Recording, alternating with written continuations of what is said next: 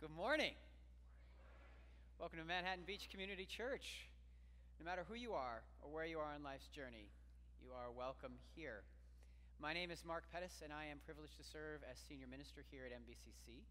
And this morning, I welcome you on behalf of myself, on behalf of Reverend Matthew Baugh, and on behalf of our worship assistant this morning, Guy Hatley, who will prove to be more prepared than I will this morning. No doubt. No doubt. Um, Guy will be doing the uh, congregational currents, and there's just a couple things I wanted to mention.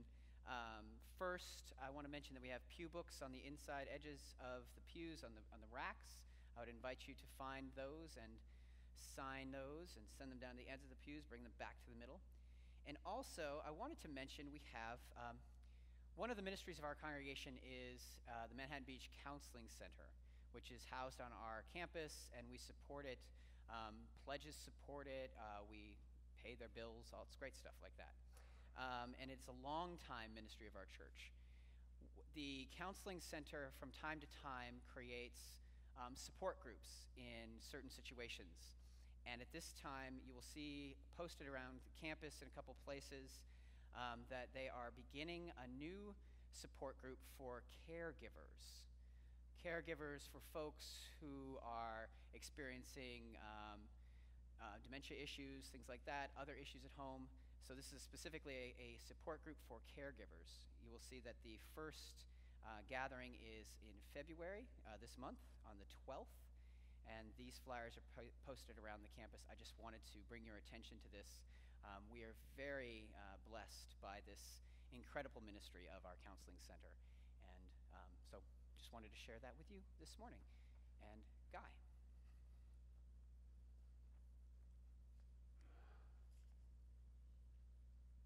Good morning and welcome to the Manhattan Beach Community Church. A special welcome to those joining us for the first time. Enjoy, have a look, take a listen, visit the newcomers table. I think it's out front, perhaps on the side and then meet us for coffee hour. We're nice people, but occasionally we get a little mm, cliquish and self absorbed. If you sense we're not paying attention, just introduce yourself and chat us up. It'll be fine. There's a ton of stuff going on. Go Niners. and does anybody really care what happened in Pennsylvania this morning? Punxsutawney Phil did not see his shadow this morning. It was snowing. So the crowd went berserk because that means an early spring. I have no idea how they figured that out. But shadow or no shadow, we in Southern California know that tomorrow is going to be a nice day. Let's have a look at the bulletin. The circles of the Women's Fellowship are busy. Look at the activities, half a page worth. I really don't know how the ladies keep up with each other. I mean, really. There's lots to read there. You read it. Next Friday evening, the 8th, from 6 to 8 p.m., is an all church game night with pizza and refreshments in the assembly hall. All are welcome, fun times. Adult discussion group will be discussing women of the New Testament. Interesting stuff. Have a look. The Mariners have a big event on Saturday, the 15th some Enchanted Evening. Wow, terrific. I don't think Mary Martin or Ezio Pinza will be there, but it sounds like a great time anyway. Contact the Townsends before the 9th. Thanks a lot. Next Sunday, February 9th, is a big day. Following the service will be our church's annual meeting. The agenda will follow previous protocol, perhaps more compressed. Refreshments to follow the meeting. This is a big deal in our church, and we should all take note of it. The matters that are presented here will have impact on the future of this church. Hopefully, more young families will be represented. All should be sure to attend. Ask questions, find out what's new, what's happening. Do you remember Bill Purton years ago, decades ago? He was a big, imposing guy uh, big personality in the church. And every annual meeting, he got a big kick out of making the moderator, the minister, and the business manager squirm a little bit with his questions. He'd stand up and everybody go, oh my God, here it comes. Most of the time, he was just having fun, I'm sure of it. Be the next Bill Purden. There you go.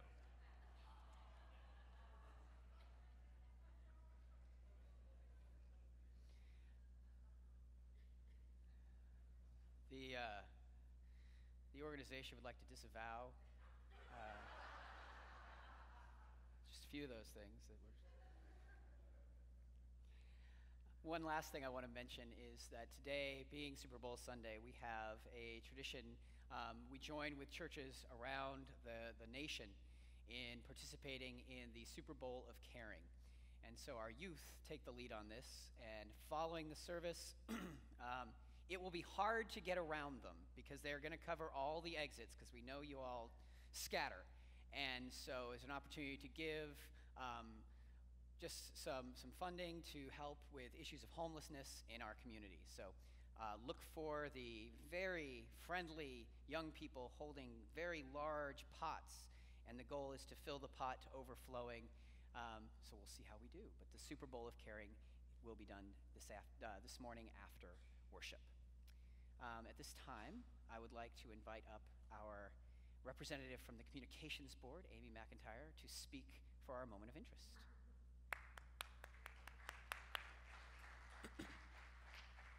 Good morning. My name is Amy McIntyre, and I'm going to start this little chat off by sharing a list of platforms that didn't exist a mere 15 years ago that we use constantly today YouTube, Google Maps or any turn by turn navigation platform, Facebook, Twitter. I didn't say they were all helpful. iPhones, Netflix, Spotify, Airbnb, Uber, Instagram. I mean, kind of crazy. 15 years ago, didn't exist. The world is changing exponentially. Entire industries have been completely disrupted by the introduction of some of these platforms. For example, getting a taxi or renting a DVD, two things that were the standard of the day, are nearly a thing of the past. Churches, and our church, are impacted by the digital age too. We simply cannot ignore the fact that most people now use social media to get their information and engage on topics of interest. Here's the good news we aren't ignoring it. I've been our church's social media manager for the past year or so. I did give myself that title, yes.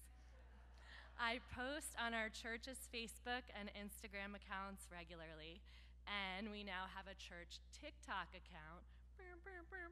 So look for content there soon.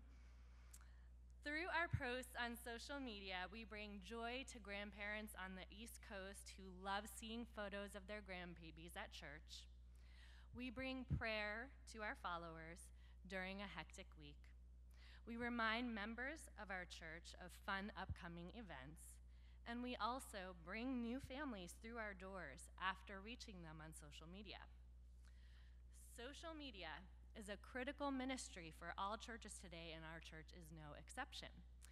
Would you like to be part of the biggest change in history on how people receive the Word of God? Are you on social media a lot anyway and think maybe I could use this time for the greater good? Do you love that our church participated in the hashtag Dolly Parton Challenge on Instagram? Then you are our people. We are seeking a couple of members for the communications board, and I like to think of it more as a club because who wants to be on a board? We have a youth member on our board, so that makes us the cool board. We're also the wild board. We throw big parties for Manhattan Beach families with barely a week's notice, and it goes awesome. We're the friendly board we interact with people on Facebook when that's their first time ever interacting with our church and answer questions for them. We also, so as you can imagine, most of our work for the Communications Club will happen at home, at your leisure, on your iPhone. We will have a short once a month meeting. If you love social media, if you have a background in graphic design, website design, photography, if you are fun, wild, or friendly, or all three, we could really use your gifts on the communications board. If you are interested, please find me after church or on social media. Thanks.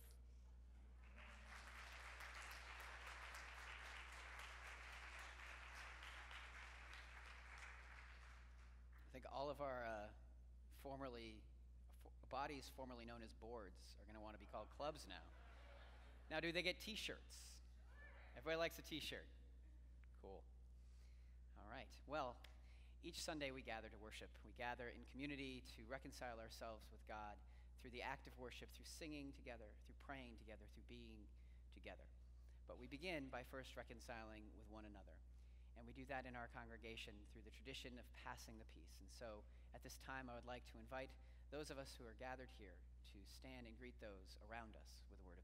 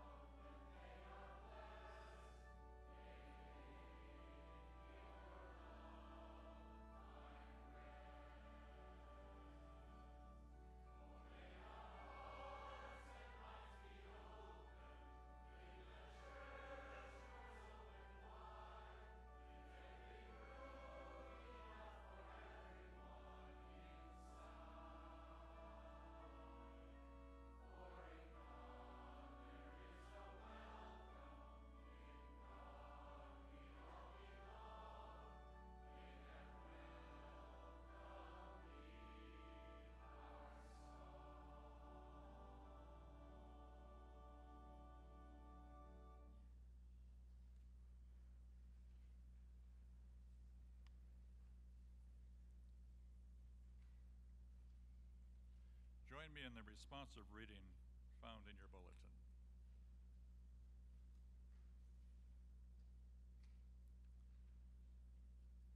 The music is played and the candles are lit.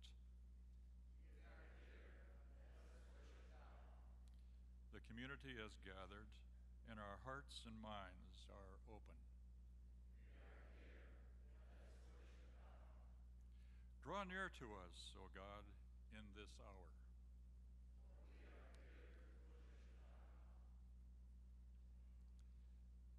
In the responsive reading we just concluded, we have indicated that we are ready for worship. That may be true, but from time to time I think the Lord's Prayer moment gets a little perfunctory, perhaps too rote, perhaps rushed. Let's try something. Calm yourselves. Picture yourself sitting on a hillside on a pleasant day, the light breeze coming off the Sea of Galilee. You're listening to a young man address the multitude of people. And during that sermon on the Mount, he addresses prayer and teaches the people how to relate to God. The lesson resonates well with you. Let us now say together that lesson, that prayer that was taught to the people on the mountainside so long ago.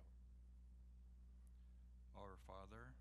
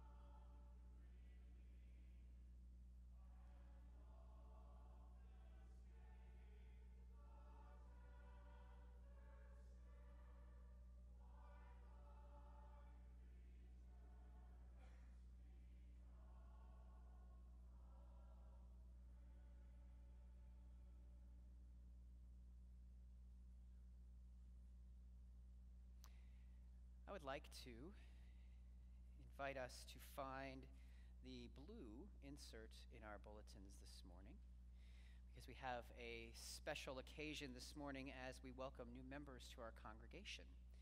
And so we all have a part in this wonderful tradition of ours as we welcome new members.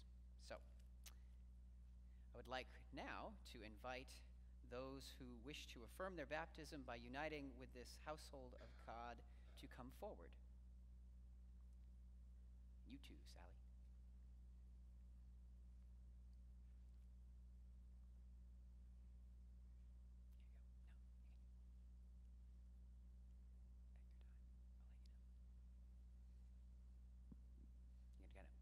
Span and kind of fan out in front of me. It'd be a more impressive fan in about three seconds. There we go. Don't need the hole. Fan out. There we go. Excellent. First test. Excellent. Friends, we are received into the church through the sacrament of baptism. These individuals have found nurture and support in the midst of the family of God. Through thoughtful prayer and discernment, they have been led by the Holy Spirit to claim in our presence their covenantal relationship as Christians with the members of this church. They are here to join with this expression of the body of Christ and share their God given gifts through service and community. Hear these words from the letter to the Ephesians, adapted for this occasion. So then you are no longer strangers and sojourners, but you are equally citizens and with the saints and members the household of God, built upon the foundation of the apostles and prophets, with Christ Jesus alone being the cornerstone, in whom the whole structure is joined together and grows into a holy temple in Christ, in whom you are also built into a dwelling place for God. By the gift of God's grace, affirmed and acknowledged in Christian baptism, we are made one in the body of Christ. Today, we rejoice in your pilgrimage of faith, which has brought you to this time and place. We give thanks for every community of faith that has been a spiritual home for each of you, and we celebrate your presence in this household of faith. Now, I ask you, reflecting, this is for you all. So, you, this is your, you got your line? You got it? Okay, you're on. All right. They're so prepared. Now, I ask you, reflecting on the message of Christ, do you promise to participate in the life and mission of this family of God's people, sharing in Christian worship, service, and fellowship, and enlisting in the work of this local church as it serves this community and the world?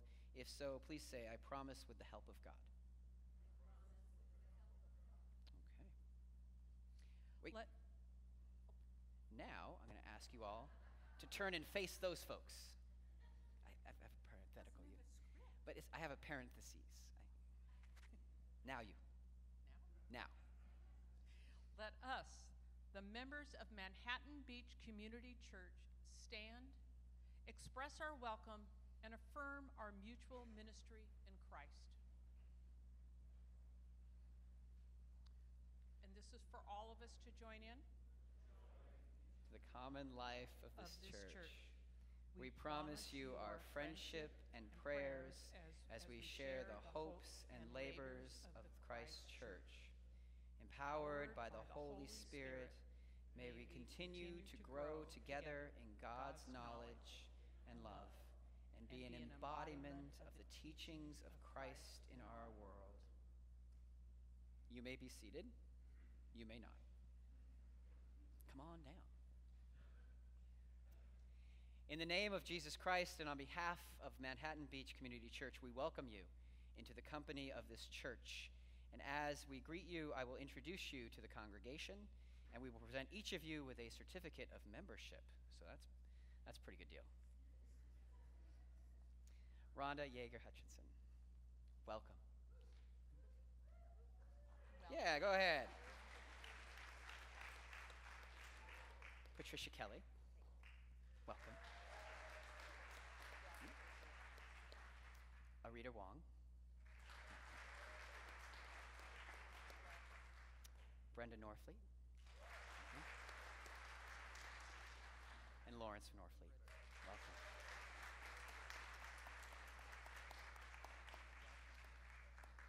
Let us pray.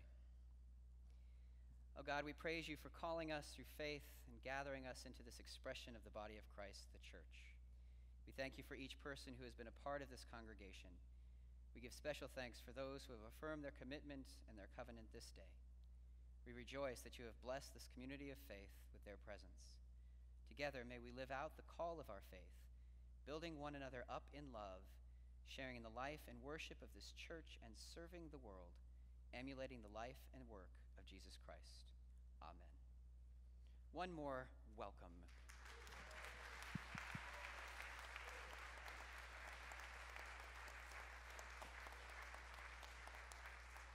And we have, they're all um, identified with the white flowers, or will be soon. I think yours is probably going to be on. And so during fellowship time, I encourage you to offer your welcome to them as well in person. Go now in peace. Thank you.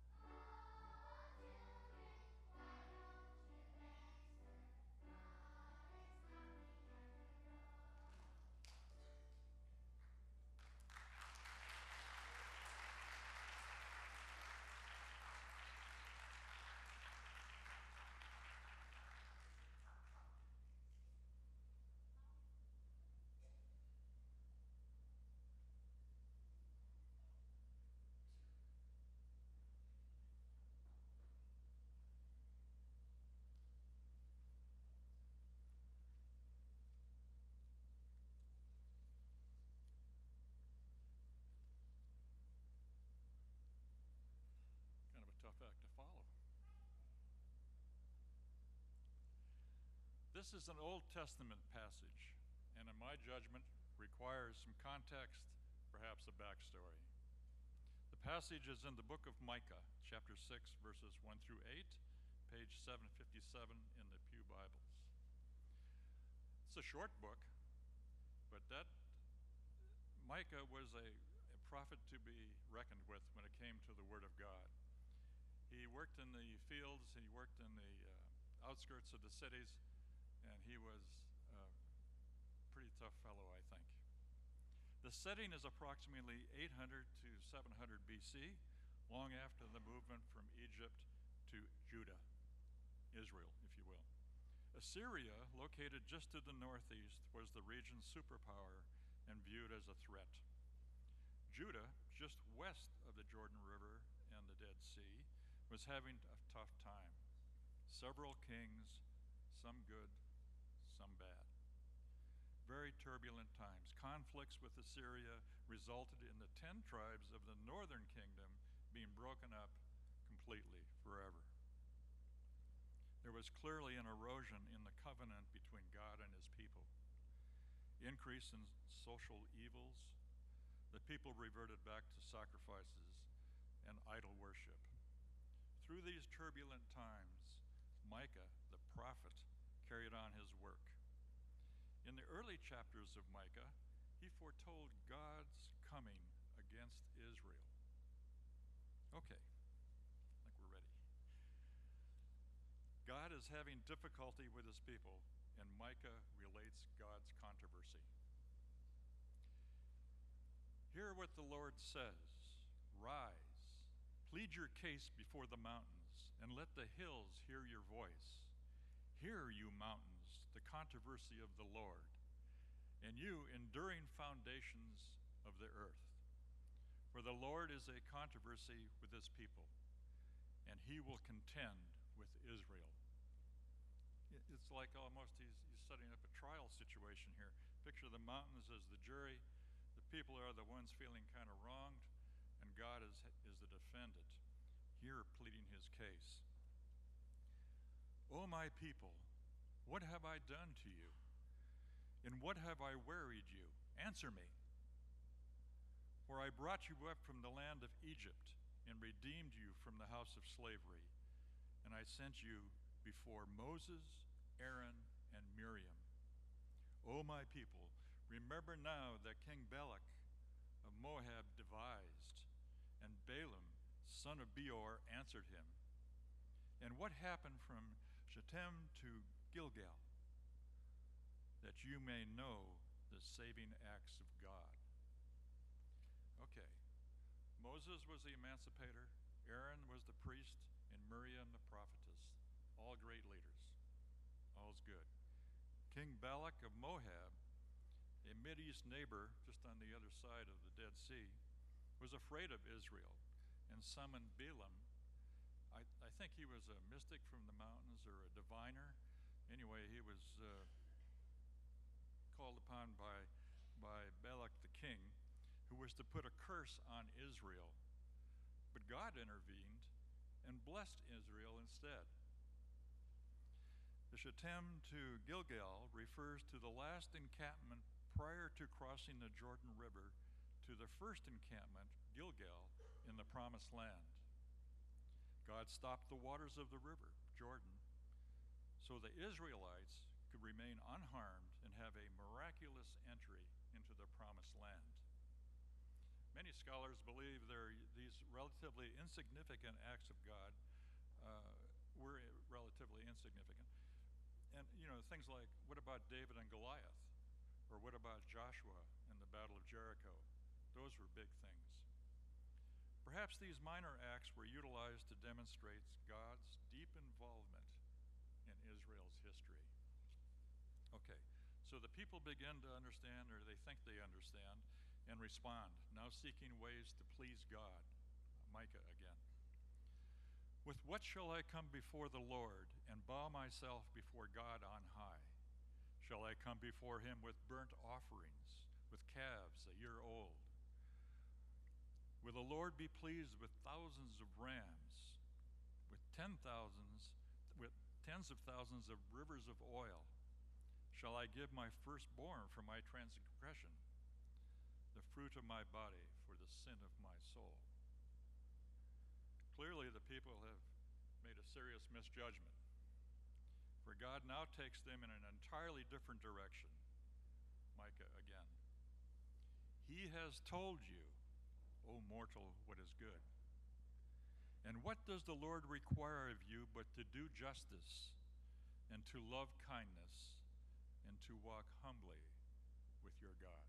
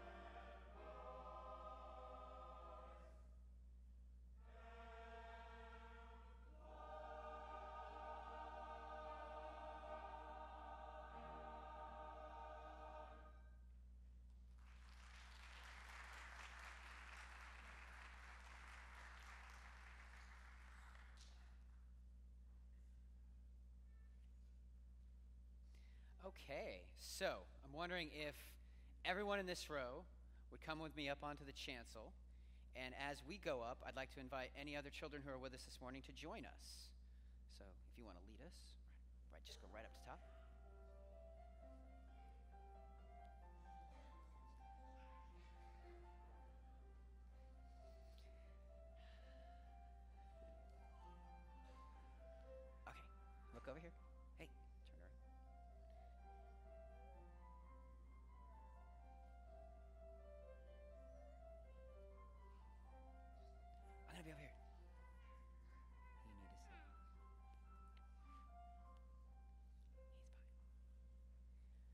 Good morning.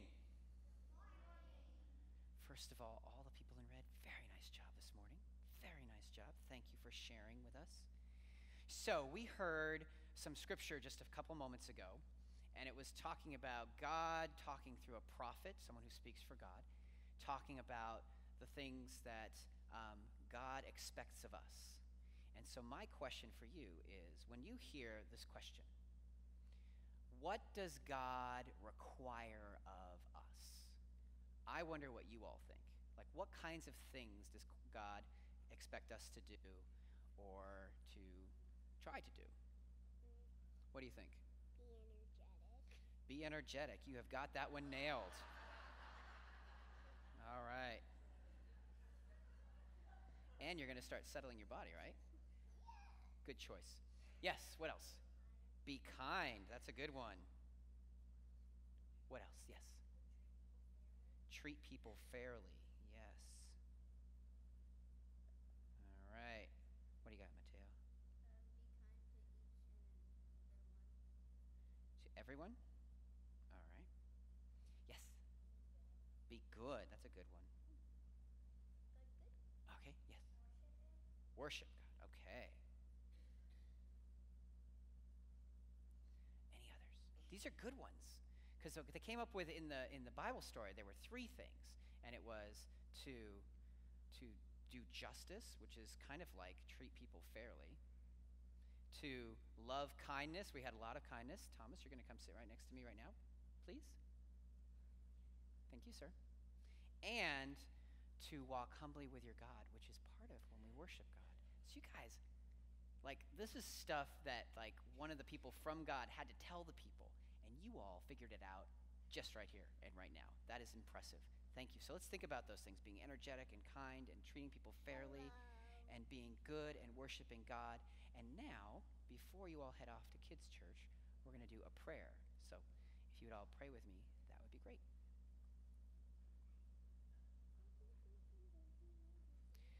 God, we thank you for the lessons that we learn. We thank you for the wise voices of our young ones. We ask you to help us live lives as they have indicated. And we pray all this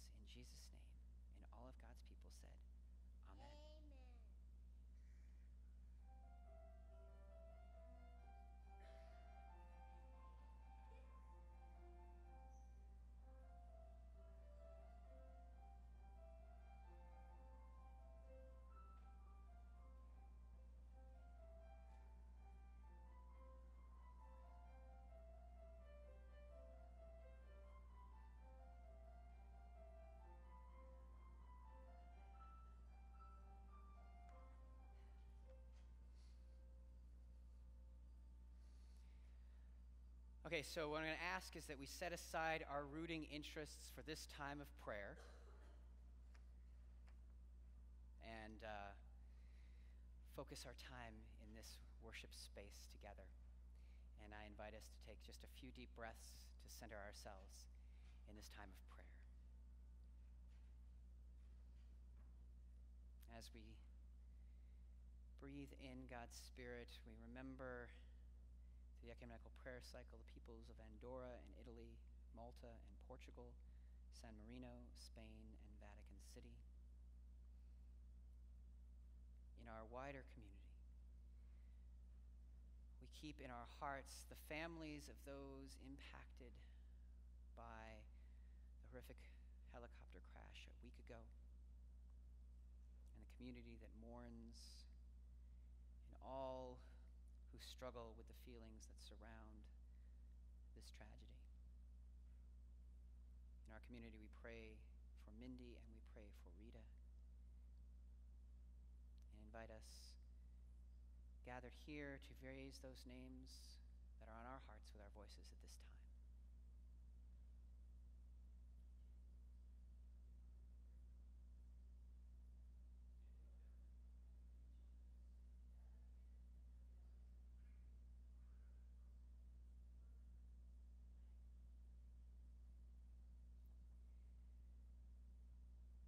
Please pray with me. Gracious and loving God, we, your people, have gathered to worship and to raise our prayers to you. We thank you for the gift of this community. We thank you for each one who is a part of it and those who have joined this day for the time to celebrate the joy of community. We thank you for each gift you have given us, O God. God, we ask that you draw near to us as we raise these concerns to you, knowing that you hear each one, and knowing that you know those concerns that remain on our hearts. Offer healing, O God. Offer support, offer strength. Help us to support one another. Help us to be models of justice and kindness. And help us to continue to walk humbly with you each day of our life. We pray all of this, O God, in your most holy name, in the Spirit of Christ that draws us together into your church and in your world. Amen.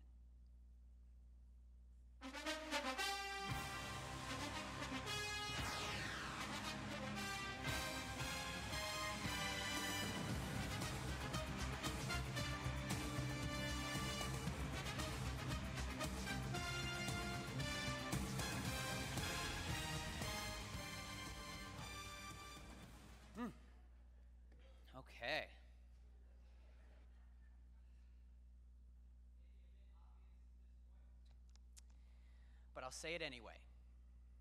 I am a football fan. I may not always agree with the manner with which the NFL handles their role as a cultural influencer. I may feel strongly about the need for the league to be more proactive in areas like domestic abuse and the long term health of its players. I may even at times find it difficult to swallow the obscene amounts of money involved with the sport. But in spite of all of my concerns, I remain a fan of the game of professional football. And I love the Super Bowl. It's something I look forward to every year, even when the teams for whom I cheer do not make the game, which is most years. And it's not because of the commercials, I actually love to watch the game itself.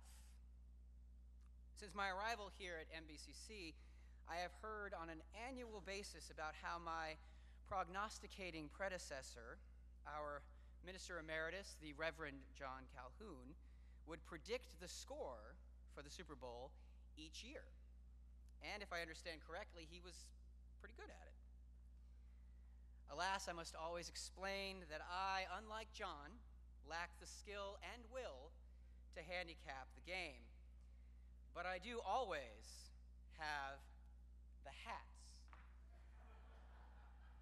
for both teams. One might ask, what is it about the Super Bowl, or football more broadly, that makes me such a fan that I would watch so loyally and own so many hats that I will never wear any other day of the year? Well, I'm glad you asked.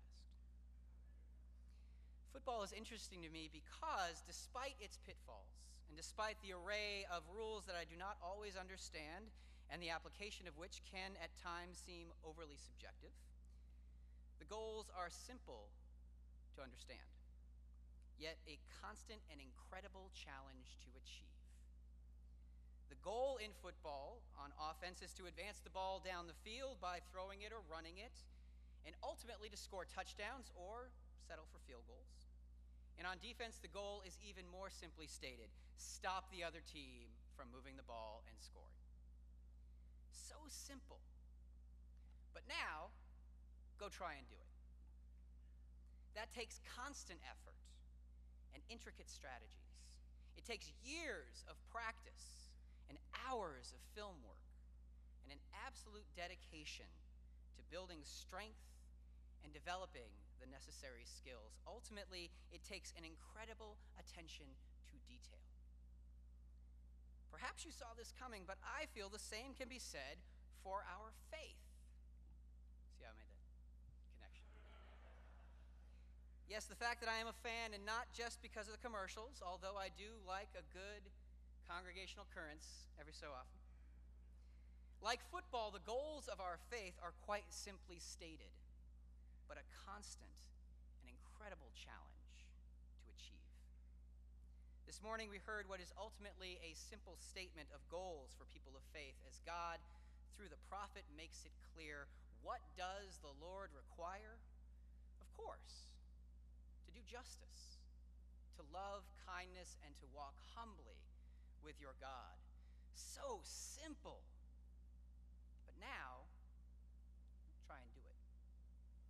In the face of self interests that may directly conflict with these values amid a culture that encourages us to do almost the exact opposite.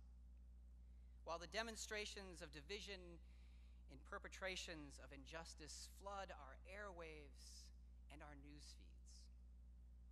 So simple to understand, yet a constant and incredible challenge to achieve. How do we even begin? By first understanding the goals themselves The prophet's call to do justice is not a call to simply cease doing that which is unjust. That is far too passive. It is far more significantly a call to actively engage in the work of justice. For example, we are called to not only feed those who are hungry or house those who are homeless, but to explore how we might help change a system that allows for widespread issues of hunger and homelessness. Or when speaking of discrimination, we are called not only to cease our own actions that serve to discriminate, but to call out and act against the discrimination within our culture. That is what it looks like to do justice. And the call to love kindness is more than, than just an invitation to greet others with a smile or post positive messages on social media. It is far more significant a call to actively demonstrate kindness in the manner with which we engage with others, all others.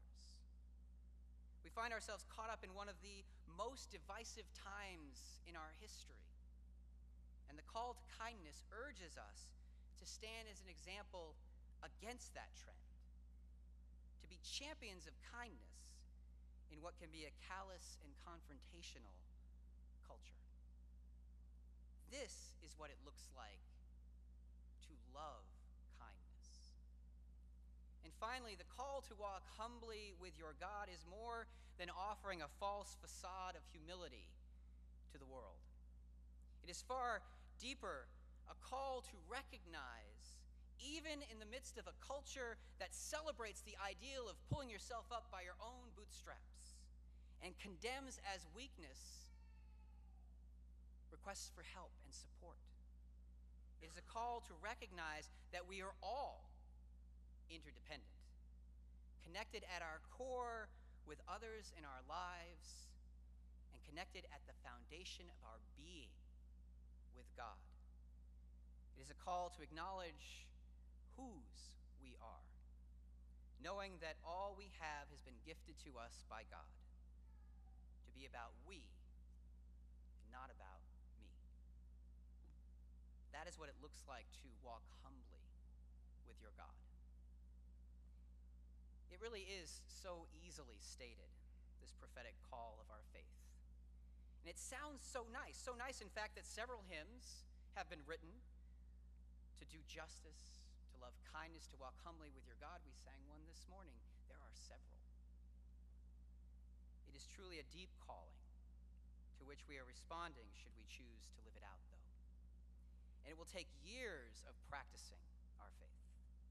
And we still may never master it. It will require attention to detail and a commitment to building our skills. Imagine, though, just for a moment, what the world would be like. A world guided by these faithful values. A world where there really was justice for all people. A world where kindness guided all of our relationships and interactions. A world where our connectedness as human beings, as beloved children of God, was humbly acknowledged celebrated. Now, I love football and all, but that would be better than even my favorite team winning the Super Bowl. Amen.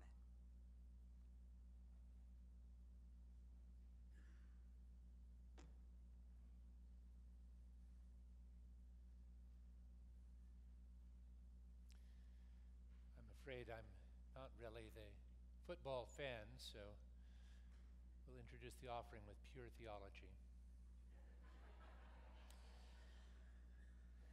There were uh, two gentlemen from Kansas City were on their way to the Super Bowl, and they were in a terrible, or a, well, th- this, this was some time ago. They were, they were in a terrible wreck, and they both died, and, and not having lived very good lives, they ended out in the bad place. And they kind of liked it because after all the Midwestern winters they'd been through, it was nice and warm. And Satan looked on them and said, This isn't right. These people are supposed to be miserable. I'll give them the worst winter they ever had. So he turned down the thermostat all the way. And in hell, they don't get nice, fluffy snow, they get ice storms. So the roads iced over, and everything was slick and miserable and dangerous. He went back to check on the guys, and they were celebrating. He said, What's wrong with you? He said, Hell's frozen over. The Chiefs are in the Super Bowl.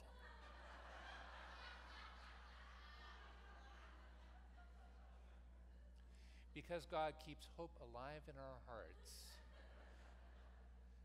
let us worship God with our gifts and offerings that they may spread hope to all people.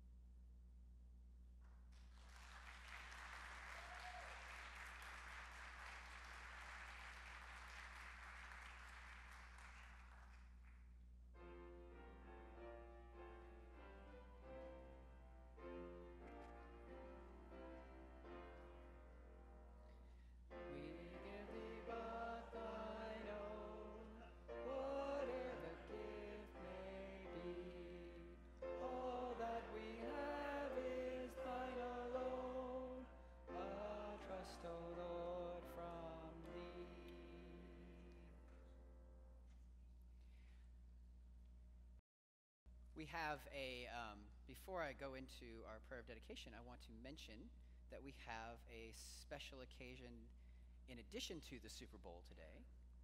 Um, Martha Cromit is with us this morning, and it is her 90th birthday today.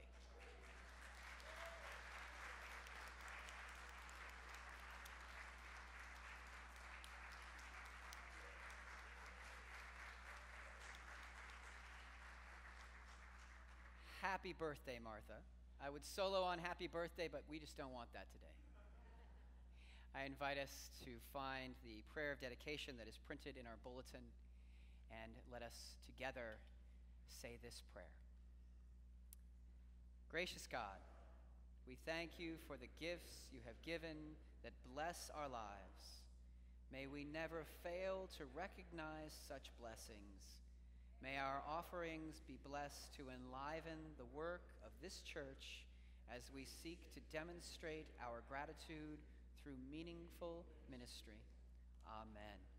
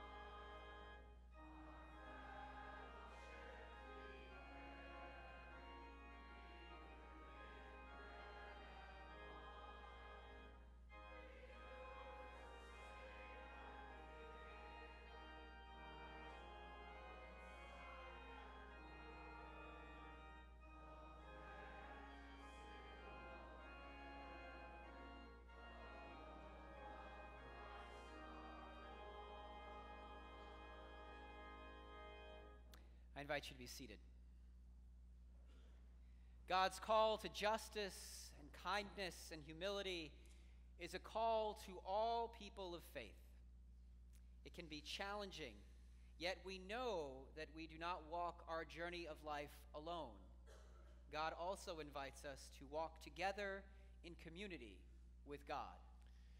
In our observance of the sacrament of communion, we gather around this table to celebrate gift of community, and in the spirit of God's call, we humbly express our appreciation for the gift of Christ. This morning, we will be sharing communion by passing the elements through the pews. As the bread plates are passed after you take your piece of bread, we ask that you hold it so that we all may partake, to, partake together as an act of unity. Should you need it, all of the bread this morning is gluten free, and the juice we use is grape juice, not wine, so that all may participate in the sacrament. Also, we'd remind you that we leave the decision about whether a child participates up to the, the parent or guardian. In this church, we recognize this table is not our table, it is Christ's table. And as such, it is open to everyone. So be welcomed at Christ's table and into the community of Christ with all of your brokenness. Be welcomed at Christ's table and into the community of Christ as you seek wholeness.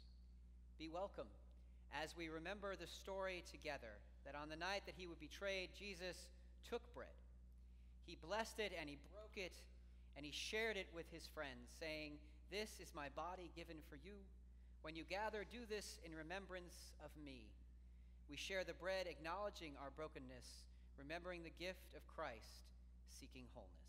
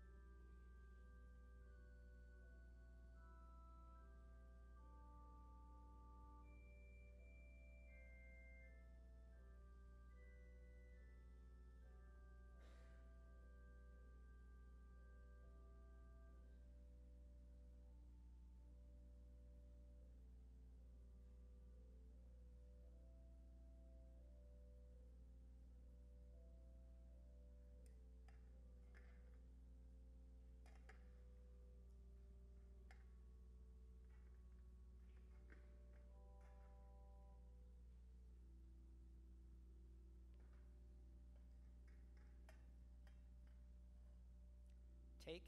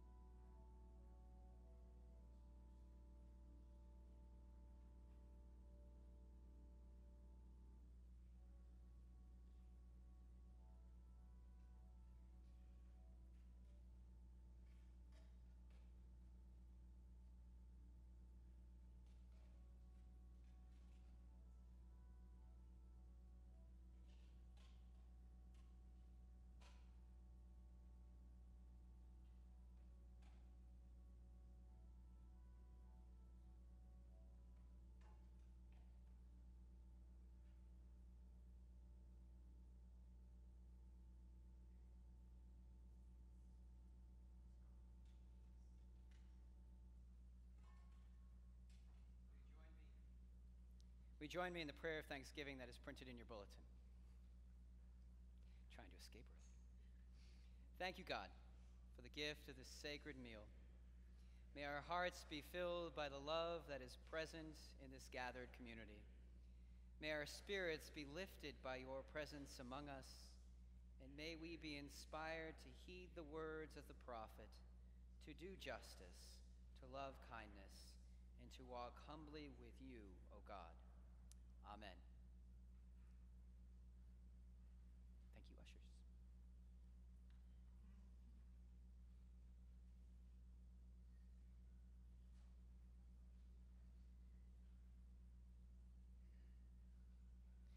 In this service alone, we gathered, we welcomed new members, we heard the wonderful voices of our carol choir and our adult choir. We shared time of reflection and we shared in a time of a common meal. My friends, living in community, showing an eye for justice for each one, acting kindly with one another, and remembering that we are connected with each other and humbly we are connected with God. We have demonstrated that this morning. Go from this place and do likewise in the world. Amen.